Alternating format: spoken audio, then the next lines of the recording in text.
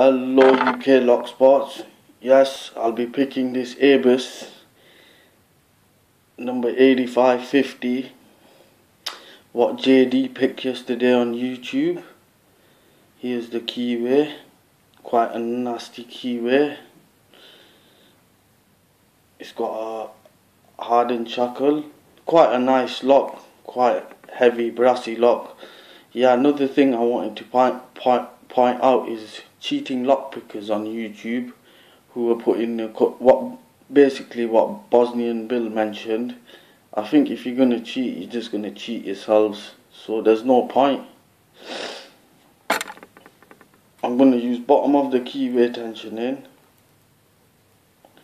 I'm going to use my feeler gauge, homemade pick. So yeah, I'm going in for the false set. There, I've got one. Got a bit of a false set.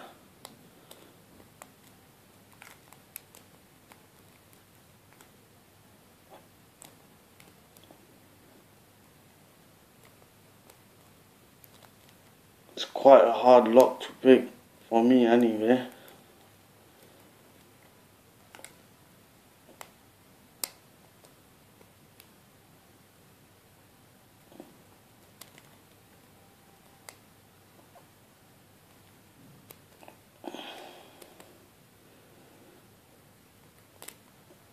I can understand. I'm going to swap over to a thingy pick, my curve pick. I can understand why JD used a couple of tools on it. I've lost the false set, but no problem. I'll get that back in a minute.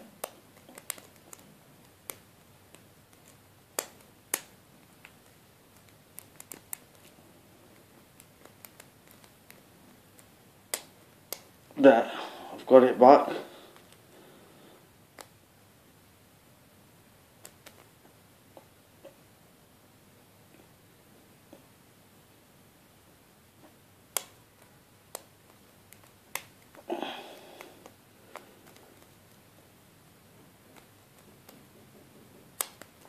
There we go. Popped open. And as you can see, this lock cannot be cheated in any way. Thank you very much for that.